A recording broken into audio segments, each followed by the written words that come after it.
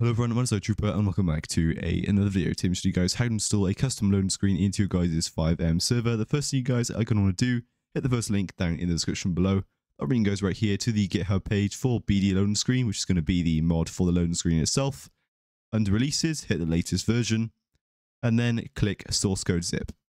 Once that's done downloading, open the zip file on up, and you should see the BD loading screen folder. So that's going to be the actual mod we drag into our FiveM server. It's pretty straightforward from here. All you guys are going to do, minimize your desktop and find your guys' FiveM server. Mine's right here. It's the exact same server I've been using for every single video in the 2024 series. Open your FiveM server on up, txData, cfx default, and resources. Inside of here, we're going to right click, new folder, and we're going to call this folder loading. And make sure you guys put brackets on the beginning and the end because brackets are a nice way to organize our FiveM servers. So every single time we add a mod, which is to do with loading in, we can put it into our loading subcategory folder, and we only need to ensure this one folder. So we can drag and drop as many things as we want into here, and we do not need to ensure them. So to do this, we're going to grab our loading screen. We're going to rename it to just BD loading screen, so get rid of that part on the end, and drag and drop it into our loading folder. We're done with that, so we can close that download.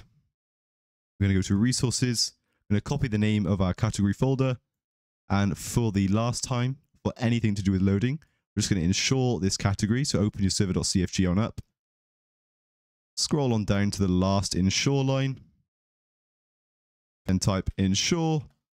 And control V in the name of our subcategory folder for all the loading mods. File, save. And just like that, we are done. If you guys wanted to as well, just so you guys can see I've done here, you can add a nice little title above it by doing two hashtags, which makes it so the server.cfg won't like read it as a line of code. Then we can just do loading screen mods.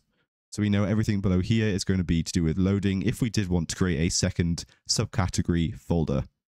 But make sure you save all the changes you've made in your server.cfg, close that, and now we are done.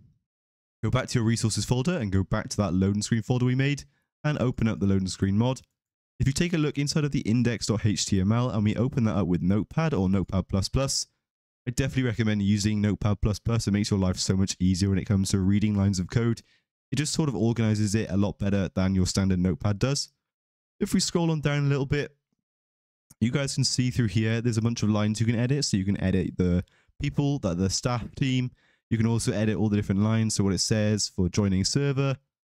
And you can change your Discord links, your TikTok links. Basically, you can configure the entire loading screen through here and everything you can change. Literally everything in the loading screen you can change. Really, really useful and great customization in your guys' FiveM server. But eventually, around line 132, you should see the actual link for changing the YouTube video. Now, the YouTube video it comes with from standard is actually pretty solid, pretty good YouTube video. But say if you wanted to change this, find yourself a free YouTube loading screen. Here's one right here. And all you guys need to do, go to share, and then embed. And see this part right here. Up until the question mark, we're going to copy that. So up until the question mark from the HTTPS, I'm going to copy that. Go back to our index or HTML and see this part in between the quotes here. And up until the question mark, we're just going to replace that with our YouTube video instead. And then we can save it and we can also close it. Unless you guys want to make some more changes here, you can obviously change the logo, but you can also do that just through the actual loan screen mod itself. So if we go back to the mod here, you see we can change the logo that it comes with. When you change the logo, just make sure you also name your logo file logo.png since that will be the file it's looking for. And same with the songs, you can also change the songs here as well if you wanted to.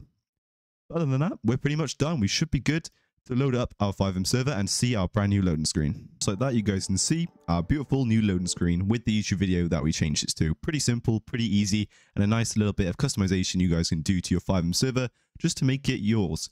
So I hope you guys did find this video useful. If you did, please be sure to like, comment, and subscribe. And if you guys are looking to create your own Dream FiveM server and you can't be bothered with all the tutorials and all the setting up and you just want to get straight into it, then be sure to check out htnetwork.one down in the description below and check out one of the packages because you can literally set up a FiveM server using the HT Network Auto Installer with over 200 mods in literally a couple of minutes. So other than that, I'll see all of you guys in the next video.